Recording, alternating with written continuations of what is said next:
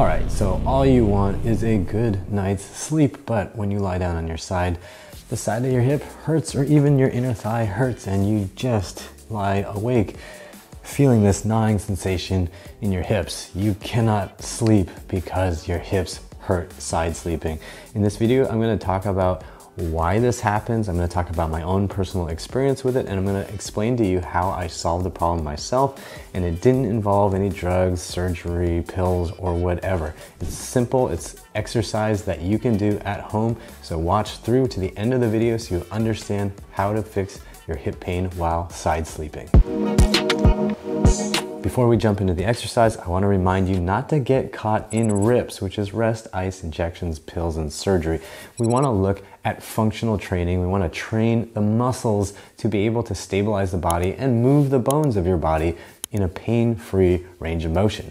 Sleeping on your side requires the muscles around your hips to maintain a balanced relationship that allows you to sleep without pain. If your hip muscles are too weak, which is often the case for people who spend all day sitting, then you will find that the muscles complain at night when you lie down on them, slightly stretch them, and ask them to relax further than they already have been doing all day long.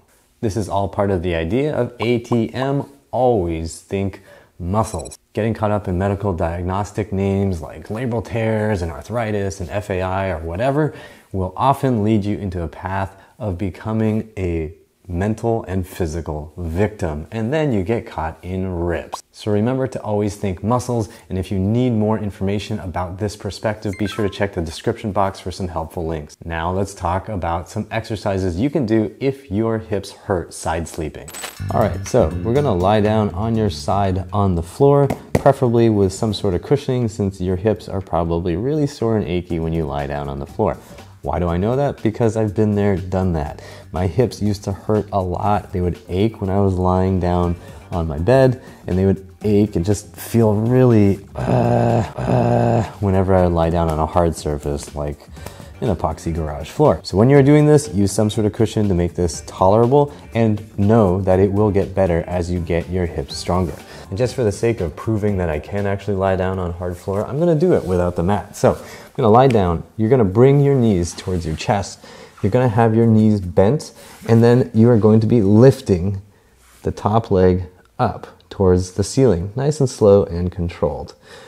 Right now I have about a 90 degree bend. This is roughly the position you would be in when you're sleeping on your side in bed. If you wanna use a pillow, you can. My arm makes an awesome pillow. So we're going to just go up and down, nice and slow, trying to control for any weird deviations. We don't want your leg to move in ways that you aren't deliberate about. It's just straight up like this. Okay? Awesome. So you should feel the muscles right back here. So you can see the seam of my pant here. The muscles on the posterior side of the hip are back here. My glutes my glute medius, right? My glute maximus are there. Just gonna keep going until I feel them get tired. Then I'm gonna switch sides so that my right side gets a little bit of rest. Go to my left, same deal, and gonna slowly come up, slowly come down. The slower you go, the harder this is, and the more fun you have because hard work is fun. Okay, so you do this until this side gets tired. Around 5 to 15 repetitions, generally per set. And then you go back to the other side. You can do another set in that same position if you want. And then, of course, do the other side. The next variation of this exercise is to then open up into more hip extension. So now my thigh is in line with the rest of my torso, and I keep the knee bent, and I'm still raising up and lowering down, trying to allow the knee to get as low to the floor as possible. When you first start doing this, you may find that you are super stuck. That's where I was. I would just get to here and be like, what the heck? Because this area just would not lengthen enough. These muscles couldn't function with length. They didn't have strength at length. So it's okay, but just know that you're aiming to be able to get the knee real close to the floor, even touching the floor once you get it real good and flexible. Okay. So again, five to 15 repetitions, get some fatigue, and then you're gonna go ahead and switch to the other side. Lying down, this knee is up towards my chest, this knee is down so the thigh is in line with my body, and then I'm going up and down. This should feel like the side of the hip, so it's not so much posterior hip, it's going to be more directly under the crest of the pelvis. So it'll feel kind of like it's sort of centered on the seam of the side of the pant, right in here, this area. So it's getting some glute medius and some glute minimus, teaching the hip abductors to fire. So you can do another set of that for both sides, and you will feel like your hips are probably a bit on fire and engorged with blood. Why am I suggesting hip strengthening exercises when your hips feel tight when you go to sleep? The reason is muscles can feel really tight when they get really weak. Most people are not overusing their side hip muscles. Most people are not doing exercise that challenges the side hip muscles to be strong and short. Most people just have super weak, flabby side hip muscles that aren't doing anything. So then when you lie down, those really flabby hip muscles are not able to provide the stability and the sense of integrity that you need to be able to fall asleep on your side. By doing these exercises, you're building strength, you're bringing blood back into these starved muscles, and you will discover that your hips start feeling better pretty quickly. When you're just starting these exercises, I would suggest doing these just two days a week, two sets for each exercise variation a Monday, Wednesday, or Monday, Thursday schedule would work really well. And if that feels fine, you're not getting super sore, you can bump that up to three days, possibly even four days a week, just depending on how it feels for you. The goal is to give enough training stimulus to your hip muscles without getting yourself crazy, crazy sore. When you're a total beginner, it's very likely you're gonna get pretty sore, so you wanna just ease yourself into it. If you need resources to help you understand why muscle soreness happens and what you can do about it, be sure to check the description box for helpful links. Now, what about inner thigh discomfort when you're sleeping on your side? Let's say you lie down, you're side sleeping, and the inner thigh just feels like, oh, it's really tight, or it feels like something's being compressed in there. There's a thing you can do for that too. So this hip exercise starts in the same position. We're just gonna take the top leg, plant the foot down. Hand is just gonna be here to help us stabilize. This leg, you're going to lift up towards the ceiling.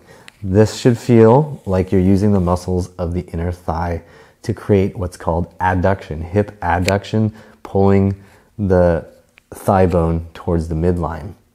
You can adjust your angle a little bit. So if I face up a little bit more, I might feel a little bit more of the adductor engagement.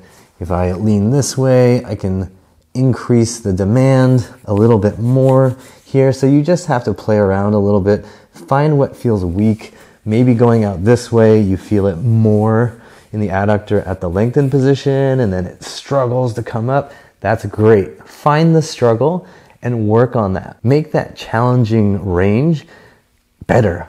Keep working on it, smooth it out. If you see it's like shaking and wobbling, that's a sign that your inner thighs are super weak. The only thing that's gonna make your inner thighs stronger is constant practice of that same motion. With this exercise again, sets of 5 to 15 are good and doing them on both sides.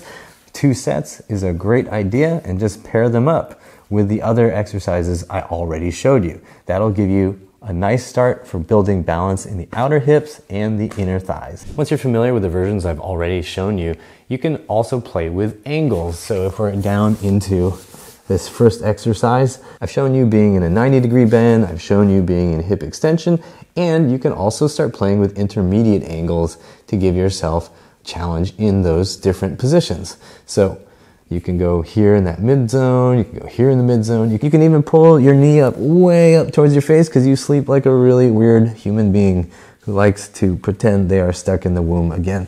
So this is fine. Any of these angles, totally fine. And the same goes for the inner thigh exercise. If you want to bring that knee away from your face and go more into hip extension and work on it in funky angles, that's totally cool too. There's no wrong answer with that. Just get used to the first variations I showed you and then work on these other ones as you find and feel weird little dead zones. And finally, if you want to up the demand and really build strength and control, get yourself some ankle weights or even use lightweight plates and find a way to get them onto your leg. So ankle weights, they even sell thigh weights with a longer strap, but for me, ankle weights work.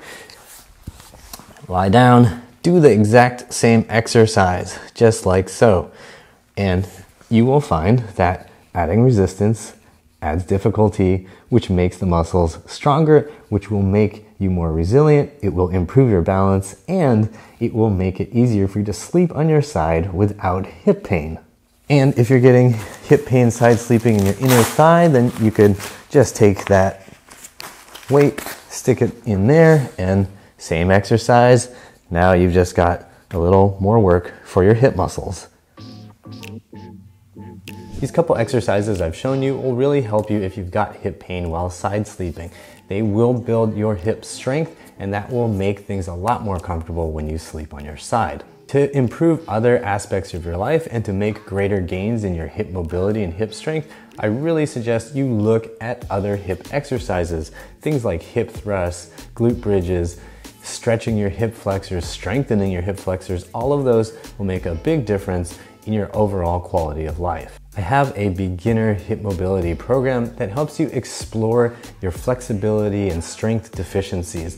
So if you're looking for a systematic but practical beginner's introduction to hip mobility and hip strength, be sure to check out the Healthy Hips program, which I'm gonna link down in the description box. And if you're somebody with hip pain and you've been told it's hip impingement or FAI, then be sure to check out the link for the FAI fix, which you'll find down below as well.